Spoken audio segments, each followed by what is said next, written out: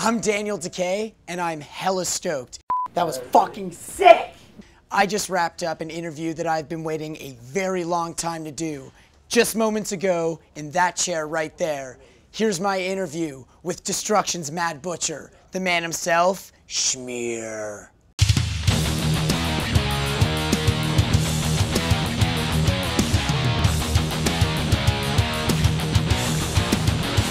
Holy hmm.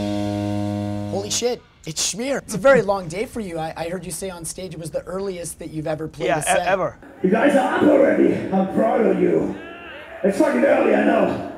This is actually history. This is the earliest show we ever played in 35 years. Usually, the earliest we play on festivals is like in the afternoon or Yeah. late afternoon. And I remember once we played Sweden Rock some years ago. It was also early show, but uh, not that early. So like everything before 12 is like, this is not rock and roll. Yeah, you no, know? no, it's not rock and roll time. I gotta say, man, I've been waiting a long time to sit down with you. I've been listening to your music virtually as long as I've been listening to music. And it's always tough for me to come up with uh, a good first question to show you that I'm serious. And uh, I, I don't have much for you except I gotta ask, how are you still so fucking cool?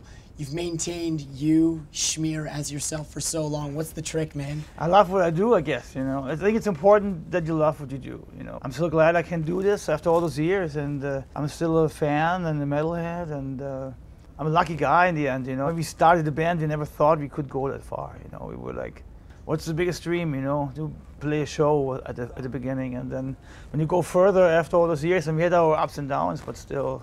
It's kind of crazy that we're still around. So I, I enjoy every day. I want to ask you about uh, some real shit though. On Banger TV, when we talk about politics and we put our videos up, it becomes very apparent from the viewers that uh, we might be one musical tribe, but politically, we're very much split. Um, I know you're very outspoken about your beliefs, and I want to know uh, some of the blowback you might get in your experiences with speaking out about your beliefs on politics. You know, politics. for me, metal was always a thing that deals with the problems in the world. You know, since we started, started very early to write critical lyrics, and we grew up with punk rock and everything. And for me, it was always important to have a message. You know, it's sad to see that uh, metal, you know, drifts right wing and and uh, everything is drifting apart. You know, us metalheads don't belong into a conservative society, you know. So I don't understand when, when, when metalheads are voting for Republicans or for conservative parties. Same goes for Nazis, you know, or the right-wing people. And uh, I believe in a, in a free world, and I believe in the freedom of speech, and I believe in that we're all fucking stupid to not accept that we're one world, you know. That's my beliefs, you know. And everything else, I don't believe in my fucking president as much as I don't believe in yours, you know. When you travel so much as a band, borders are not important anymore, you know. And that's what I really learned in all those years that that you go to Russia, you know, after this we're in America and then in one week we're going to play in Russia, you know. So I will hear the opposite, you know. Here I will hear, hear the American story, then I go to Russia, I will hear the Russian story. And then I build my own story, then I talk to the people. That's actually the great thing about being a musician.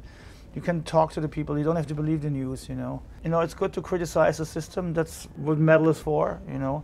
And then, of course, everybody has his own opinion, of course, you know. We have freedom of speech and everything, but I know nowadays people think heavy metal should not be pol- political, you know, because everybody thinks about dragons and unicorns, you know, but that's not my kind of metal. No, it's not my kind of Yeah. metal either. And I, I find it very interesting you talk about, even on the extreme side, Nazis. Yeah. What's, what's the answer to that? Do we need to bring everyone together or do we need to keep them the fuck out? I just don't believe why people believe in stupid ideologies, you know, and in stupid leaders, you know. All those people are making big bucks, you know, and they're all cheating on their people, you know. All our governments are basically betraying us, you know. They, they're asking for too much taxes, they put them in their own pockets.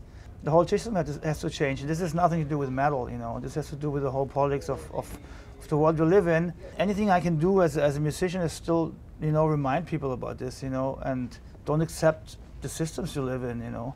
But of course, we're living in a world now where, you know, the, the, iPhone is more important than what's on the news today, you know. As much as all other systems failed before, the capitalistic system also doesn't work, you know. So uh, we'll see. I mean, for me, heavy metal also has uh, has been getting commercialized in the last years, you know. I mean, of course, all, all this also is kind of a part of it, you know. And there's been a lot of people say, "Oh my God, the, mo- the metal board uh, sell out and stuff," you know. Of course, you, you know. Now we're sitting here and talking about capitalism on a board like this, you know. As I said before, you know, we should all learn how to share again, you know, and not be greedy as we are, you know. And that's something sad to see.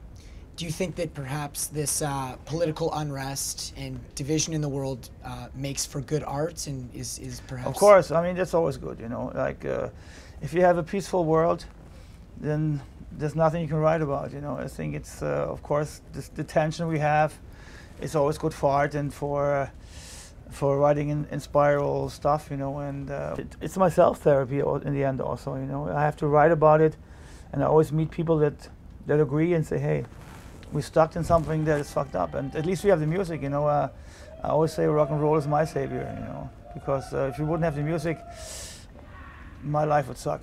It's incredible. I could talk about the world with you all day, I feel. But I want to wrap up quick on just a bit about music. I've heard you talk a lot about uh, the differences between, of course, the European and specifically German thrash versus what was going on in America back in the day and now. Um, but with the current state of thrash metal specifically, I'm noticing there's a lot less uh, throwback Kill 'Em All sounding thrash, and we're getting back to more some of the punk and hardcore influence stuff, more aggressive. Um, do you have anything to say about that with modern bands? And specifically, I want to know if you've ever listened to uh, this new band, Power Trip. I listened to Power Trip. Yeah, I, I heard the album.